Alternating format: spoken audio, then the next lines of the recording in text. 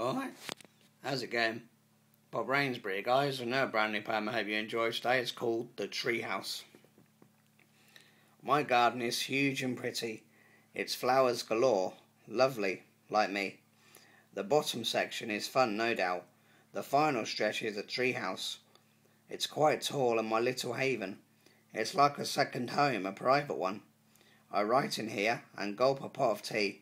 I gaze at views, thinking of Wordsy. I bring inside my headphones and CDs. I play inspiration like Morrissey for me. The views are incredible, I find. I have decking and a ladder I climb. I have a wonderful mini ensuite. From a balcony, a room, and a bed to sleep.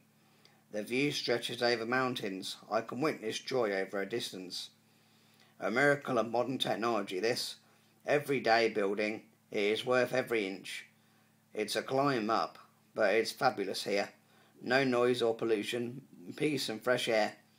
It's like a palace in private quarters. I'm always at ease and forever fortunate. By Bob Rainsbury. Poetry strikes chord, no instrument can play.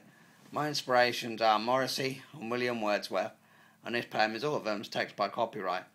If you go on YouTube, guys, and type in Bobby Rainsbury poetry, you'll see lots more work on there. Which you check out and enjoy. All the best, guys. Brilliant. Take care. See ya.